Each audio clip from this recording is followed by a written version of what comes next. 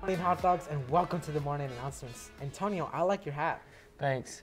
Guys, we are, we're two days away from a three day weekend. That is awesome. now to the pledge. Please stand. I pledge allegiance to the flag of the United States of America and to the republic for which it stands, one nation, under God, indivisible, with liberty and justice for all. Crash members. There's an opportunity for Crash members to participate. Members will select important Latino leaders and research them. On the poster template, the name of an image uh, of the figure and a paragraph of the recognition will be included. If you research two figures, it will count as one hour of community service. The deadline for this is February 20th. Seniors, remember to make your cap and gown orders as early as possible. The due date is March 12th. Pretty sure Deca cookies are on sale. Get them before they sell out. I haven't had cook, uh, Deca cookies in a minute. I'll probably go today. Now listen to Elijah with sports, and then Emily with weather and an exclusive interview.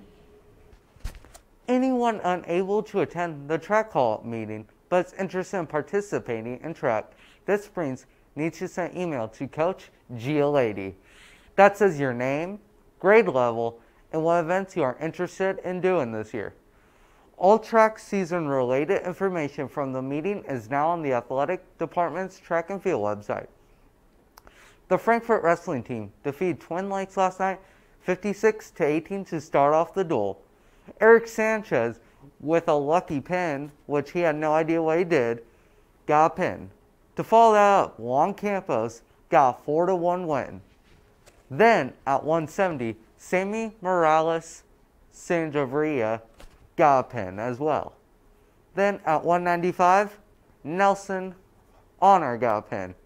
Following that, my one and only 220 pounder, Brenton Wood, got a tech fall last night, 19 to 4.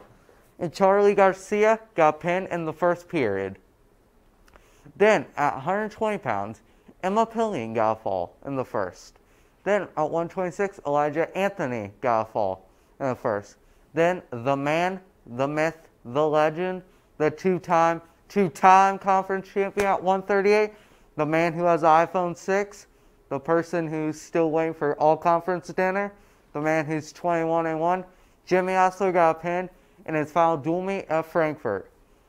And Frankfort won 56 to 18. We're trying to schedule a meet, but if not, our sectional, our next meet will be at sectionals. Now let's send it. Now that's it for sports. Now let's send to Emily with weather an exclusive interview with me last night. Good morning, hot dogs. I hope you all are having a great start to your morning. It is currently 32 degrees outside. Today's high is 42 degrees, and tonight temperatures will drop to 33 degrees with a possible chance of rain this evening. There's a chance of snow tomorrow, so make sure you dress warm. Congrats to this guy for winning last night. That's it for today, hot dogs. Now back to your host. Hello, guys. I'm here with Elijah Anthony, our famous Frankfort High School wrestler. He's actually 11 to 0. How do you feel about that? I speak oh, okay. Sorry about that, but this is our uh, famous wrestler, and everybody wish him luck if you see him in the hallways. Thank you. Thank Thank, you. you. I love the support. Thanks, Emily and Elijah. Congrats on your big win. Today for lunch, we'll be having chicken fajita and yogurts. Happy birthday to Paulino Ramos. All right, hot dogs, that is all for the announcements. Make sure to stay safe and stay motivated. Make sure to like, subscribe, and have a great day, hot dogs.